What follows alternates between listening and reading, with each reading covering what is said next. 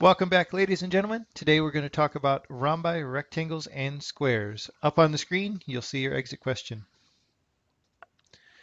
We're going to start off with the second day of 8.4 talking about the official definitions for rhombus, rectangle, and square, three of the quadrilaterals that we've been dealing with in class.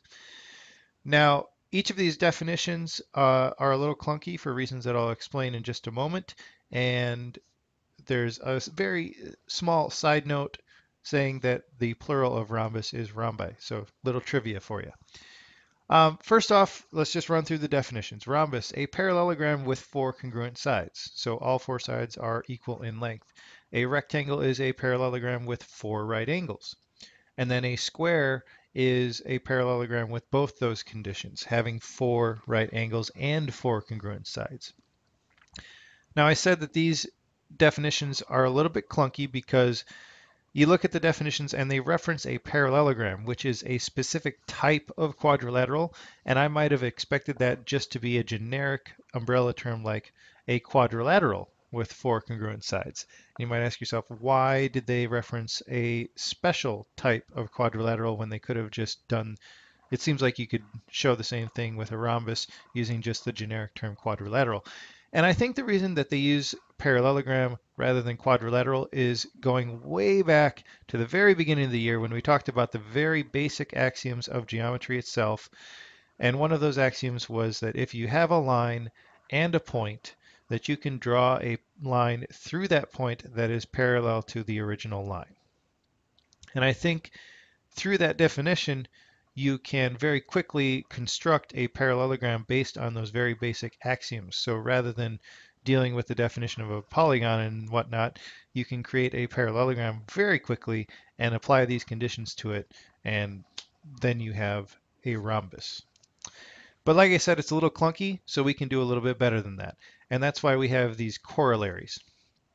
So the first corollary we have is the rhombus corollary, which states exactly what I thought a rhombus was, uh, which was a quadrilateral uh, is a rhombus if and only if it has four congruent sides.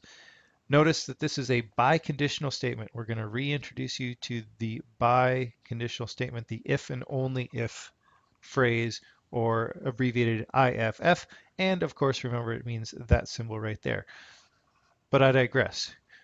The meat here is that if you have a quadrilateral with four congruent sides, it is a rhombus. And if you have a quadrilateral that is a rhombus, then it must have four congruent sides. So remember that biconditional statements work in both directions. So if you need to prove that something is a rhombus, you can do it using this corollary. Or if you know that something is a rhombus and you need to prove that it has four congruent sides, you can also use this corollary. It works both directions. Likewise, we have a rectangle corollary, which basically says if you have a quadrilateral that has four right angles, it is a rectangle. And if you have a quadrilateral that is a rectangle, then it must have four right angles. And finally, the square corollary, which says exactly what you might think it is, that if you have a quadrilateral that is a square, then it must have four right angles and four congruent sides. And conversely, if you have a quadrilateral that has four right angles and four equal sides, it better be a square. The only thing that's tricky about this corollary and using it to prove stuff is that it has an AND statement. So if you were to use it in the reverse, you have to show that it's a rhombus and a rectangle before you can show that it's a square. So there's an AND statement wrapped up in an if and only if statement. Here's a cool Venn diagram of how a whole bunch of quadrilaterals fit together. Notice that squares are in the sweet spot right in the middle. They are all types of those types of quadrilaterals that we've talked about so far. Next up, we have yet more theorems. We're going to have three more theorems, and they're all going to be if and only if theorems. Uh, so you can use them both in the forward conditional manner and the reverse converse manner. First one is if you have a parallelogram that is a rhombus, then its diagonals are perpendicular. So a rhombus has perpendicular diagonals both ways. Second one, a rhombus diagonals bisect pairs of opposing angles, or the diagonals bisect each, each interior angle of a rhombus. And that again goes both ways. If you have a rhombus, then the diagonals bisect each interior angle. If you have diagonals bisecting interior angles, then it must be a rhombus. And the third and final theorem, theorem 8.13, is about rectangles, and it simply states that, and I don't like the labelings on this drawing, uh, it states that if you have a rectangle, then its diagonals are congruent, or if you have a quadrilateral with congruent diagonals, then it must be a rectangle. Okay, so this is a way that you can prove that thing the diagonals are congruent or that you have a rectangle. Okay, real world situation. Carpentry. Suppose you are tasked with digging a hole in which a house will be built. The house has a rectangular footprint of 40 feet by 30 feet. And the only tools you have available are a 150 foot tape measure, some stakes to drive into the ground to mark locations, and a helper. I want you to pause the video and describe how you could mark the ground to tell the excavator where to dig. It is crucial that the hole is a rectangle, so perfectly rectangular, right angles, and you don't want to dig more dirt than is necessary. So use the stakes to mark out. Remember, this is just like we're just starting to build a house. So all you have is this giant field in front of you. You have no aerial view. And your job is to mark out a perfect rectangle of those dimensions. Pause the video and see if you can figure out a solution. Okay, one solution uh, is to think about the diagonals. If we want a rectangle, then we know that the diagonals have to be of equal length.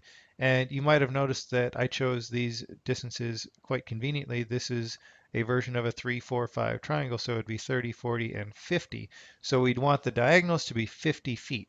So one way that you could do this is mark a corner, put a stake right there on that corner, and then measure 30 feet from it and then 40 feet from that in what you think is a right angle. So from your first stake, mark out 30 feet, throw your second stake down. It's very easy to make a straight line. That's no problem. Now here's where you start to guess is you start to head off in this direction, which is what you think is a 90 degree angle. You're not sure about it, but you're going to throw down a stake in 40 feet at a straight line. And then you're going to go this way for 30 feet. Again, you're guessing, is this a right angle? I don't know, but I'm going to throw down a stake right here.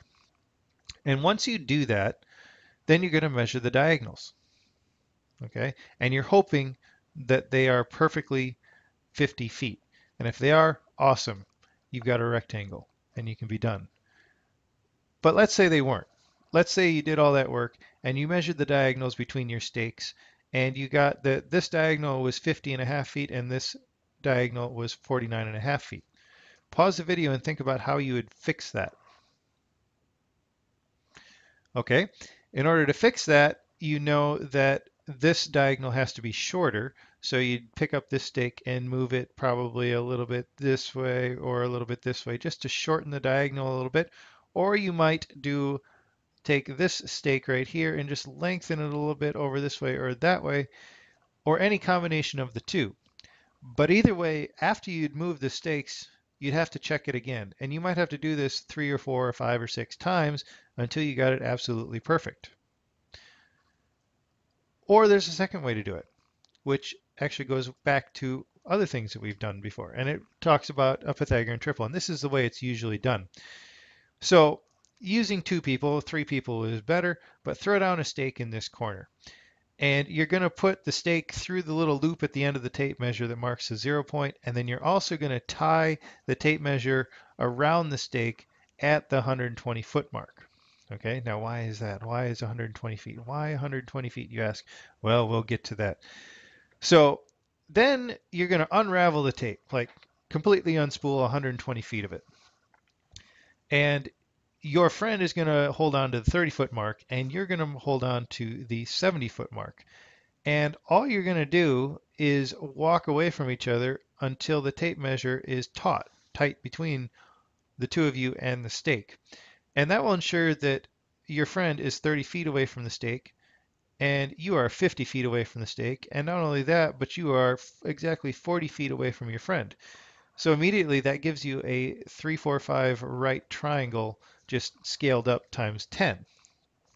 And that will give you, if you each drop a stake right at your feet, that'll give you the corners. Uh, you could just repeat that again over on this side or just repeat it from where you threw down your stake uh, to find this corner. And that's generally the way it's done, and this is a highly accurate way to do it. Uh, it's almost impossible to screw up. So there's a real world application of what we're learning. Here's your assignment. I'll see you next time.